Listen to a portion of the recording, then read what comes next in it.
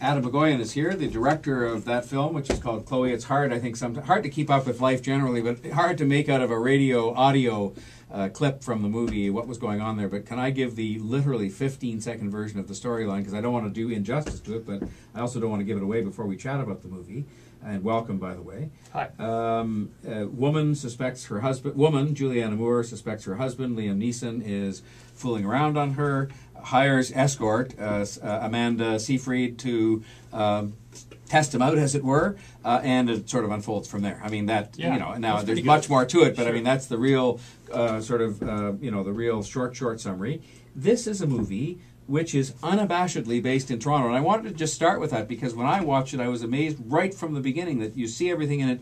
I was really proud. I mean, to be candid, as a Torontonian about our city, I thought that it it uh, it Yorkville's never looked cooler. The Dip, uh, the Diplomatico at College and Clinton, is right there in all of its glory. It's a key vantage point. What made you decide to do that? Well, when I got the script, it was set in San Francisco, and I got really excited because I love San Francisco, and I thought I, I'd love to shoot there. But when I went to scout, I had this strange sense that everything I was seeing I'd seen before.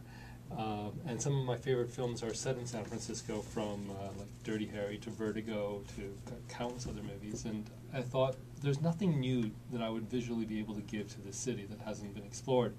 But Toronto, on the other hand, which is where I live and where uh, most of my movies have been set, it, it's never actually been shown as Toronto in a foreign financed film. Like, uh, and I, it, it actually usually gets to do what Chloe, the prostitute, does, which is pretend to be something else. it pretends, you know, for a certain amount of money to be Boston or New York or Chicago. So this was a really opportun- good opportunity, and I also felt the city has changed in the past few years. There are these, you know, landmark, you know, amazing architectural uh, developments, and I wanted to show it off, really. Um, so the next thing was to produce, uh, convince the producers that that would work, and that I could make Toronto look as sexy as San Francisco, which is uh, which is challenging, but actually not really when when you frame it a certain way and you look at what we have in the city, which is pretty amazing. This we live in a great place. And last week I was uh, doing this press tour in the U.S., going to all these American cities, and they're all saying, "Is that what Toronto really looks like?" And I thought, "Yeah." I'm is." glad to hear that because you and I are both boosters, and so we'd Yeah. say it looks great because Yeah. we like it. But you're saying others who, what about those who came in to be part of the production, or and they've been here before, obviously, Yeah. but or those who are now watching the movie and haven't been here? I, I think that's amazing. I mean, to me, the critical thing was I was in San Francisco last week doing press, and they all know that the film was set in San Francisco because the writer's from San Francisco, and uh, I thought that'd be my toughest audience. But in fact, they were really, um, they were really thankful to be able to see a place that they had heard of and didn't really exist in their visual imagination, except for like you know seeing Tower and certain things uh, which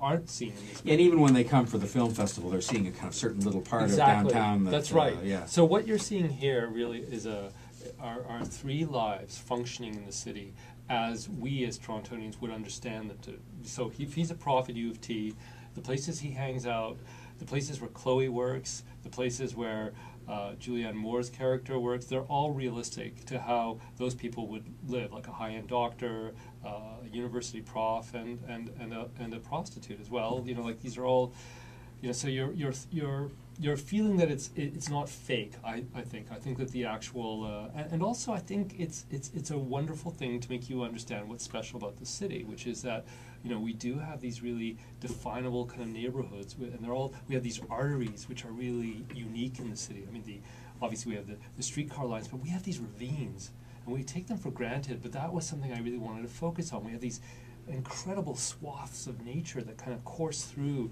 our, our downtown core. And so to have a house that overlooks one of the ravines and use all this stuff visually to make it exciting, you know, to make it really rich and make it look like uh, something that's um, mysterious and sexy and erotic. That was really my, my uh, job. So you mentioned, uh, and I'm going to skip to this, and I'll come back to the sexual energy in this film, which to me was something. And I, you know, I, I, I know I don't know that much relative to some others you might talk to about movies, but uh, that may put me in the same category as, as a lot of the people listening in terms of how they're made and so on. But I'll come back to the sexual energy. But I wanted to ask you. You said three characters. I would have added the fourth, maybe the son, because Right, so you've got sure. the wife, the husband, the son, and of course Chloe, the Yes, escort. Is it harder or more difficult in your job as the director to make a film because you know that only only has four characters in it? There's a couple of other people, secretaries and waiters and various others, but is it is it more of a challenge Well- for you to do it or less? It's a challenge in as much as you have to find the best cast possible. You have to be able to find people that are really able to hold your interest, and uh, and and the material has to be complex. It has to have enough psychological uh, depth so that it stays interesting, and and and. Uh, and I think we have to think of the character of the city as being another character in this movie uh, to me. So, so once I actually had this cast lined up and I knew that we could shoot it in Toronto, uh, I got really excited about it because I felt that you know this could be really something unusual, different, something we've never seen before.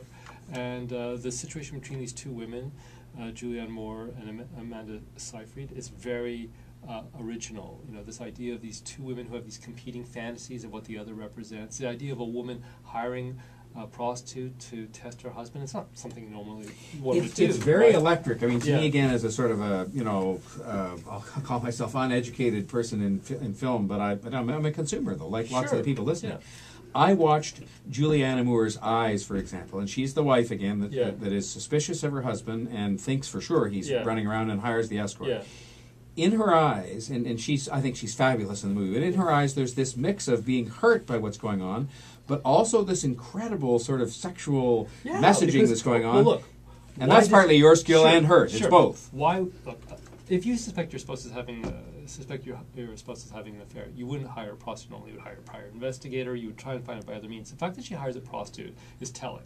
It means that she doesn't want to just find out if he's having an affair. She wants to find out what it feels like to have an affair uh, with him, because in fact they've been married for a very long time.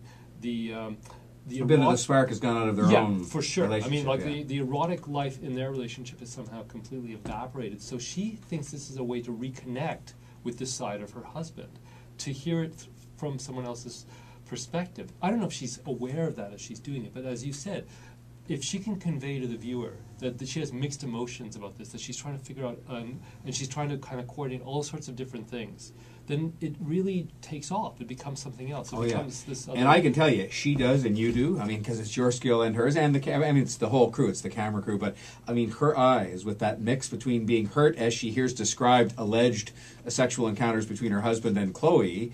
Uh, Have this incredible mix between, on the one hand, looking like she's about to burst into tears, but on the other hand, being kind of turned on Exactly. by what she's hearing. Uh, uh, absolutely. It's what And makes she- this movie very and, and- And she becomes kind of addicted to these stories, and she wants it to go further and further and further. And, and meanwhile, Chloe has, she becomes addicted to the way Julie or Catherine um, listens to her, right? So the two women find themselves completely intoxicated by each other, and this leads to an unexpected place for both of them.